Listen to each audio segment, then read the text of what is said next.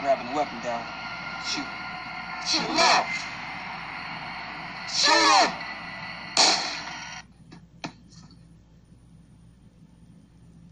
I was scared for my life. 17 year old white man was fatally shot by a local off duty policeman. I just wanted to protect my community.